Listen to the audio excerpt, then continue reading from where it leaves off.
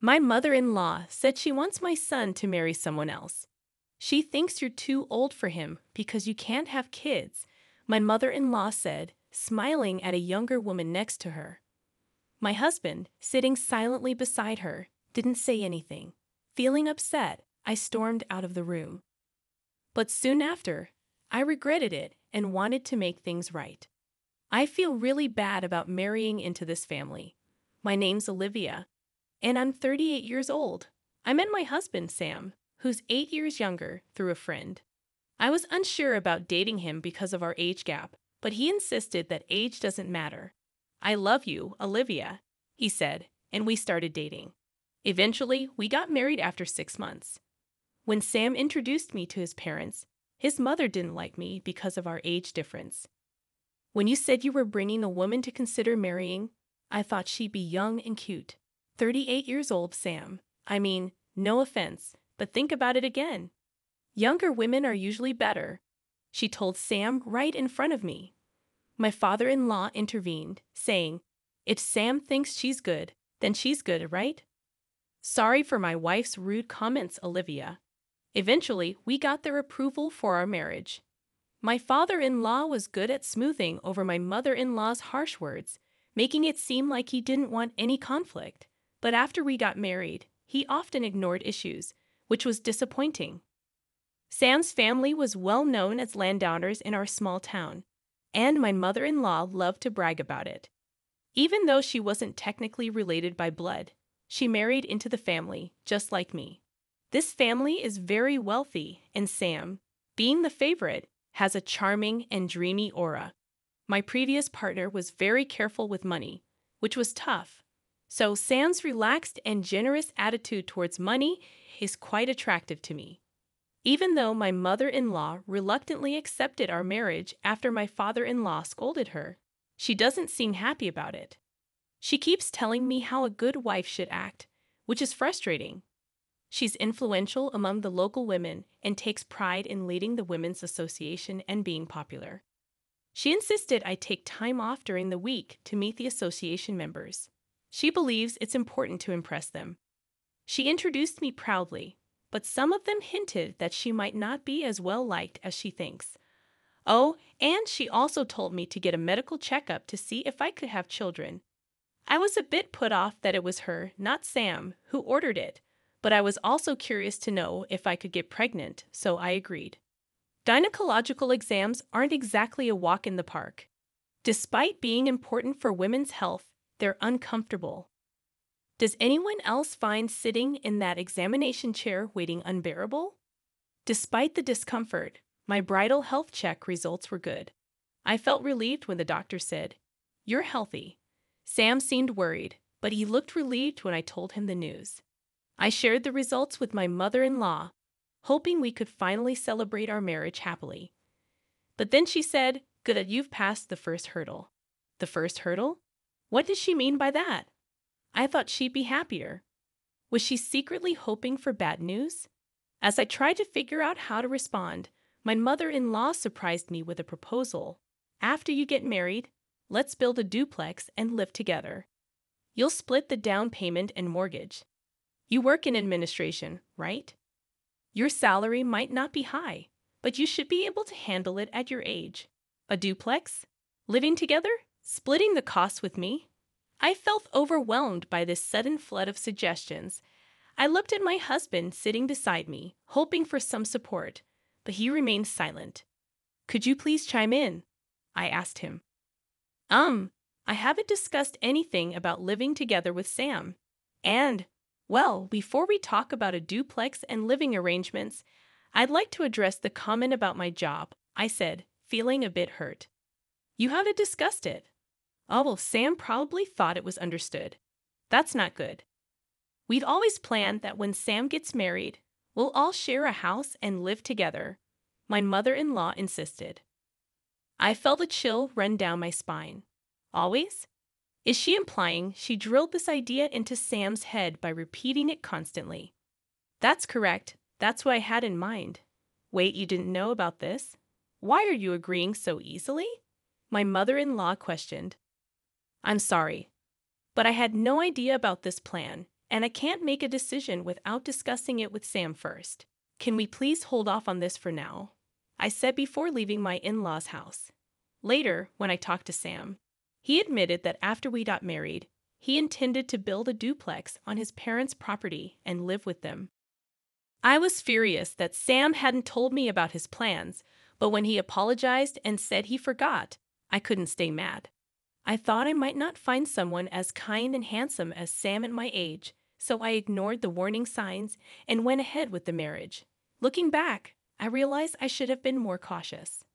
I ended up going along with my mother in law's wishes and helped pay for a duplex where we'd live with Sam's parents. Six months into our marriage, I found out I was pregnant. I kept it a secret from my in laws until I was sure everything was stable. When I finally told them, they were thrilled and started discussing baby names, assuming it would be a boy, although we didn't know the gender yet. Despite feeling pressure, it's nice to see them happy. I was advised to quit my job for safety reasons, but since I help with my family's business, I have some flexibility. I decided to keep working as long as it doesn't strain me too much. My pregnancy was going smoothly, and I started feeling the baby's movements, a long awaited joy. It's a mysterious yet happy feeling to sense a tiny life stirring inside me. I'm grateful for the joy of being a woman and experiencing this miracle. Sam, my husband, and my in laws eagerly anticipate the baby's growth at each checkup, and I can't wait for the child's birth. I have a feeling that my relationship with my mother in law will improve once the baby arrives. One day, when everything seemed perfect, I noticed the baby's movements were weakening. I felt an indescribable anxiety and rushed to the hospital. The doctors gave me heartbreaking news. Something was wrong with the baby. Why? How? I was living normally. What did I do wrong? I was gripped with fear over the risks.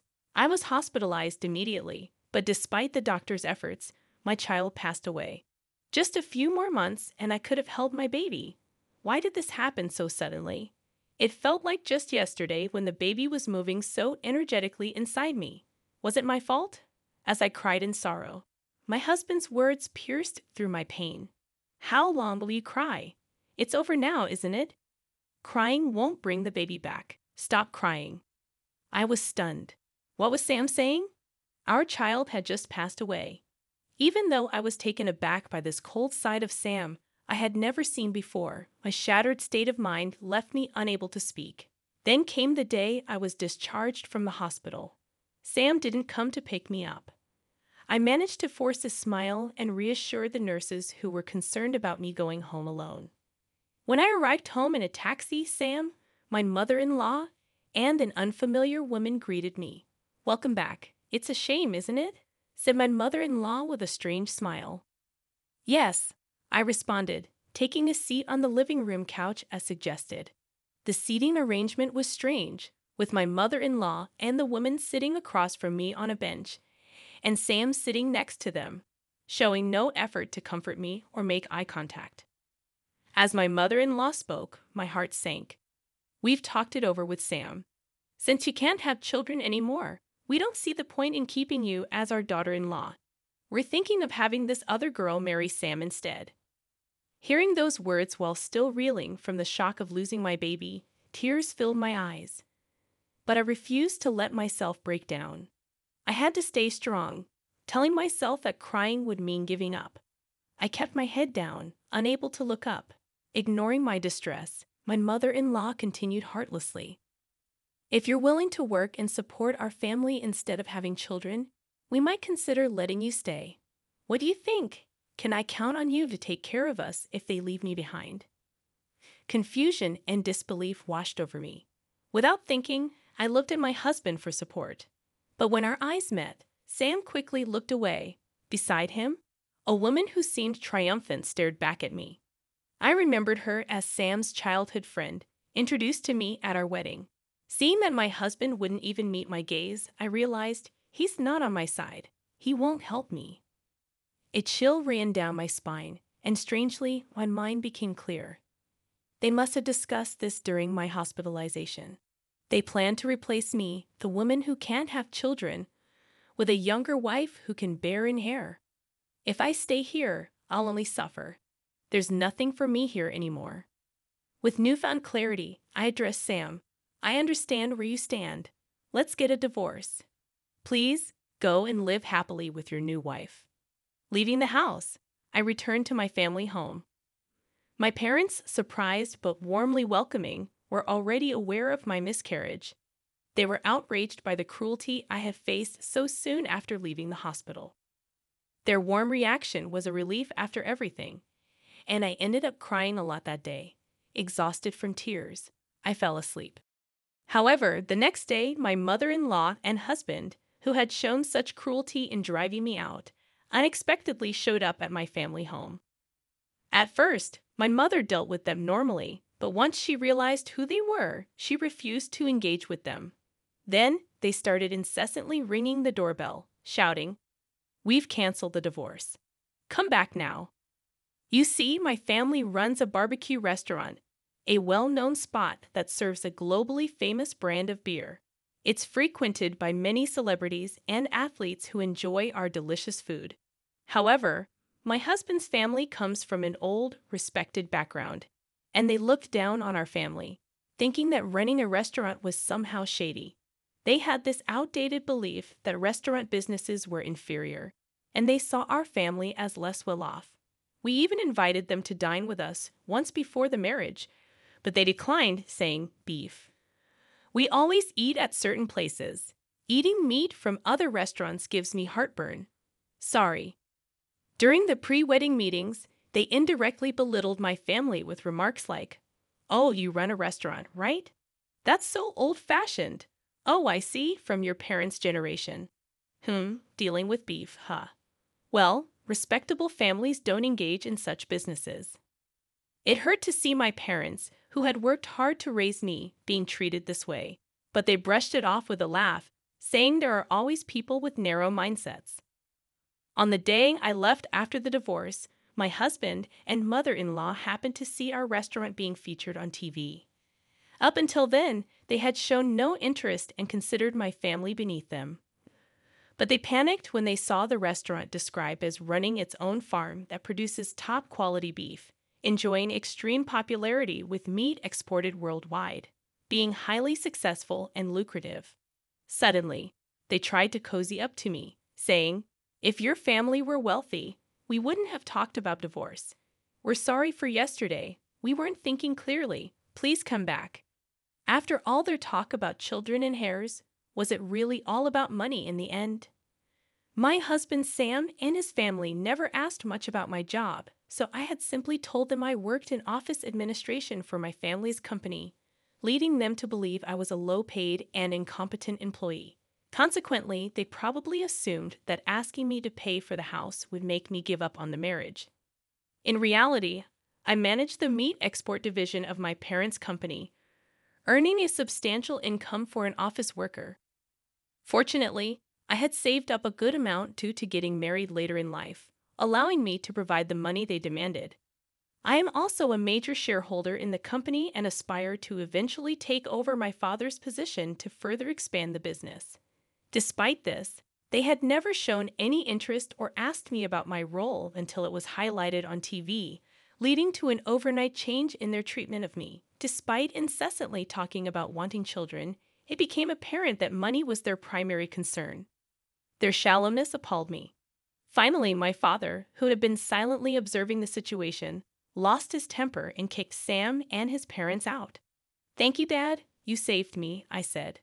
My father, still seething with anger, began drinking and cursing at them. He had me explain everything from before the marriage without holding back any details, believing I couldn't handle this alone. My father promptly contacted a lawyer he knew, leading to a demand for damages since I was unjustly evicted. We also asked for reimbursement for the housing funds I had provided during our cohabitation. The claim was acknowledged, and it was decided that I would receive a refund for the expenses I covered. However, Sam alone couldn't repay the loan I had taken out, so his family home had to be sold. They had built a lavish house on rural property just for show, leaving a considerable mortgage remaining even after the sale. Moreover, the house was filled with the eccentricities of Sam's mother, making finding a buyer willing to accept it as is doubtful, suggesting that disposal could take time. Fortunately, they managed to sell some land they owned separately, allowing me to recoup my money first, which was a relief. At this point, I was grateful for marrying into a landlord's family. Sam and his parents were forced to leave their beloved two family home and now seemed to be struggling in a rented apartment, facing difficulty repaying their loan. As for the woman who was planning to marry Sam, she was only interested because she thought she'd live in a big house and that his family was wealthy. But as soon as she found out they were going to lose the house and still be in debt, she disappeared. It was probably the best decision for her because if she had married him, she might have been pressured to have a child and forced to work due to her young age. News travels fast in this rural area. Gossip spreads like wildfire, especially when it involves a well known family like Sam's. People are buzzing with interest, commenting on how poorly they treated me and how they used to flaunt their big house, but are now in debt and living in an apartment. With both the wife and potential new wife gone, their family line might end with this generation. It's incredible how accurate the rumors are and makes you wonder who's been watching all this. The power of a rural network is quite something. Now, my bossy mother in law, who used to act like she owned the place, sneaks around even when shopping, worried about people's stares. My parents remind me We warned you not to marry into a family that would insist on testing if you could get pregnant before marriage, didn't we? And brush off the situation. They even console me in their own way, saying, Olivia just rushed into marriage a bit. Don't worry about it. It's fine if you stay home. They try to be understanding in their own way.